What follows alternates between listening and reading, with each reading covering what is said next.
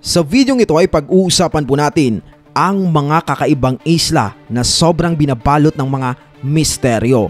Hindi mo aakalaing nag-e-exist pala sa mundong ito ang mga lugar na ating pag-uusapan ngayon. Ito ang mga maliliit na isla na matatagpuan sa napakalawak na karagatan ng Pasipiko. Hindi ko sukat akalain na nag-e-exist pa pala ang ganitong mga klaseng lugar at hindi lamang yan, may interesado pang nakatirang mga tao rito. Kaya tara at wag na nating patagalin pa at pag-usapan na natin ang napaka-interesting na istorya ng mga most isolated islands in the world. Sa napakalawak na karagatan ng Pasipiko ay may tila ba isang isla na nahiwalay sa buong mundo.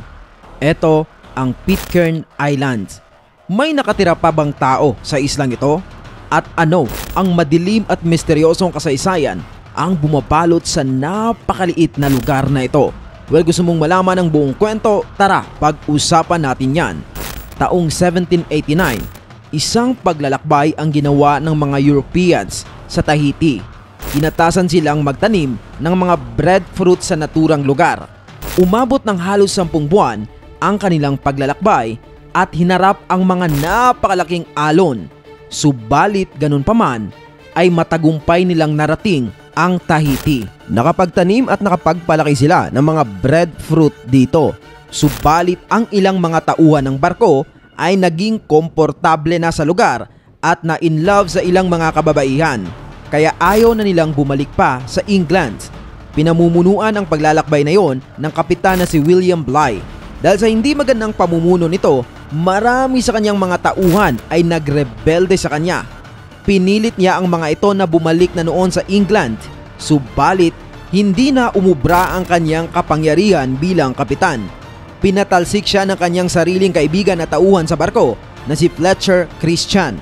Kinuha ni Fletcher ang barko at iniwan ang kapitan sa isang maliit na bangka kasama ng ilang mga loyalist. Halos 25 na lalaki at ilang mga babae naman ang sumama kay Fletcher. Dahil sa pagre-rebelding iyon, si Fletcher at ang kanyang mga kasamahan ay kalaban na ng British Empire at parusang kamatayan ang ipapataw sa kanila. Dahil dito, nagdesisyon silang magtago sa isang isla na tinatawag na ngayon na Pitcairn Island. Sila ang kauna-unahang tao na nanirahan sa lugar na ito. Sinunog nila ang kanilang sinakyan na barko para hindi na sila tuluyang mahanap pa. Pero nang makarating sa isla, may ilang mga bakas na nakaukit sa mga bato ang kanilang nakita. Patunay ito na mayroon na palang nauna sa kanila noong unang panahon pa sa lugar na iyon. At yun ang mga manlalakbay na Polynesian. Pero malamang sa malamang ay tuluyan rin nilang inabandona ang isla. At sa palagay ko ay mukhang may sumpa ata ang isla na ito. Dahil ang 25 na lalaki ay biglang nagkagulo dahil sa selosan sa babae at may ilan pang traidoran na nauwi sa pagkitil ng mga buhay. Sa sobrang lala ng gulo, isang lalaki lang ang nakasurvive.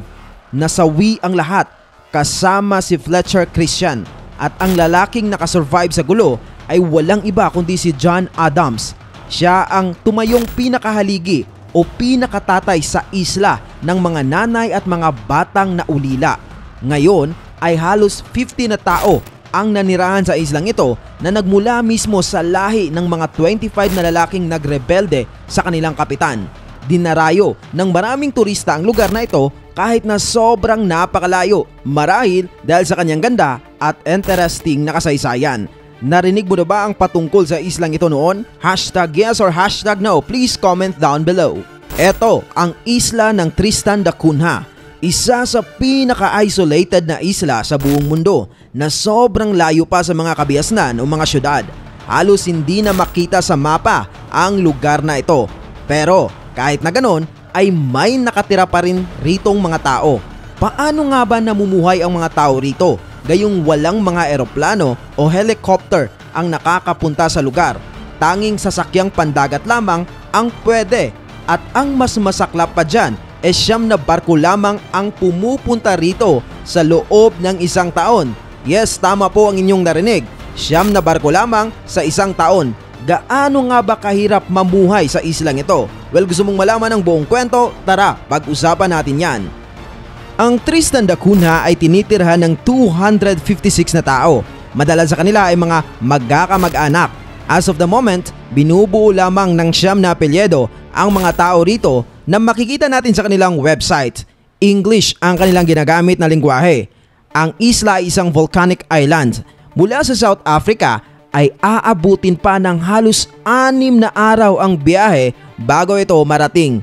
Halos tatlong beses ang layo kapag binarko ang Manila to Mindanao. Dahil sobrang isolated ng isla sa kabiasnan, pagsasaka at pangingisda ang pangunahing trabaho ng mga tao rito. Bawat isa sa kanila ay may alagang dalawang tupa na bigay ng gobyerno at bawat pamilya naman ay may isang baka, mabait at nagtutulungan ang mga tao rito. Kailangan nila yan para maka-survive sa naturang isolated na isla. Gumagamit naman sila ng mga diesel generators para sa kanilang kuryente at mga British citizens ang mga nakatira rito at ang madalas nilang kinakain ay patatas. Ngunit sino nga ba ang pinakaunang tao na nakatira rito? Tara, balikan natin ang kasaysayan. Taong 1503 unang natanaw ng isang manlalakbay na Portuguese ang islang ito ang taong iyon ay si Tristão da Cunha. Pero dahil sa sobrang lakas ng alon ay hindi nila nagawang maglanding sa naturang isla. But to make the story short, eto pa rin ay ipinangalan sa kanya. Pagsabi ng taong 1810 ay may isang manlalayag na umangkin ng naturang isla at nanirahan rito. Siya si Jonathan Lambert na mula sa Amerika. Inangkin niya ang naturang isla at pinangalanang Island of Refreshments Subalit mukhang napatalsik rin ang taong ito nang angkinin ng United Kingdom ang lugar. Ilan sa mga British soldier na nakabantay rito ay nanatili na sa isla. Tulad na lang nitong si William Glass. Kaya mapapansin natin may Glass na apelyedo sa mga residente ng islang ito. Pero paano ang isla pag may daraan na bagyo? Siguradong sapul na sapul ito dahil walang nakakover na mga karatig na isla.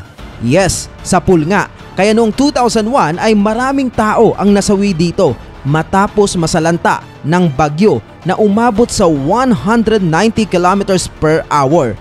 Papayag ka bang manirahan sa islang ito? Hashtag yes or hashtag no, please comment down below.